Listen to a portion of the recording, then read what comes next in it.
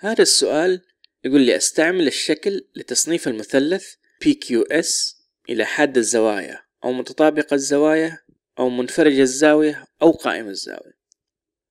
المثلث المطلوب هو هذا المثلث. وبما أن هذه الزاويتين متجاورتان على مستقيم وهذه قائمة يصير هذه الزاوية أيضا قائمة من نظرية الزوايا القائمة. يصير هذا المثلث برضو نسميه مثلث قائم الزاوية. إذا عندك سؤال أسألنا تحت في التعليقات. وإذا عجبك الدرس وتبغى تشوف تكملته زورنا في واضح دوت كوم. واشترك معنا عشان تقدر تشوف جميع الدروس وحلول جميع الأمثلة وجميع مسائل تحقق من فهمك مشروحة بطريقتنا البسيطة والسهلة. وتقدر تتواصل معنا وتسألنا أي سؤال وإحنا حنجاوبك عليه.